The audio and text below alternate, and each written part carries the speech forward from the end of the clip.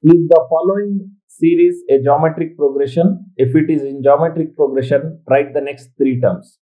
So the given series is 5, 55 and 555 and so on.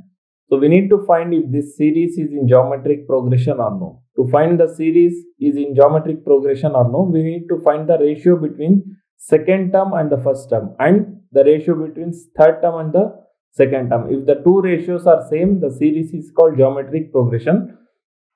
So here we have the first term as 5 which is denoted by A1, the second term 55 which is denoted by A2 and the third term is denoted by A3 which is equals to 555. Now we will find the ratio between second term and first term A2 by A1. So 55 by 5, 5 1 times, 5 11 times. So the first ratio is 11. Now we will find the second ratio which is between the third term and the second term. So A3 by A2 which is equals to 555 by 55. So, 5 5 11 times and 5 111 times and 111 divided by 11 is equals to 10.9.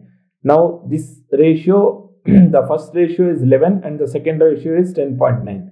Since these two ratios are not exactly equal, this series is not in geometric progression. So since this series is not in geometric progression, we cannot find the next three terms using the geometric progression method or formula.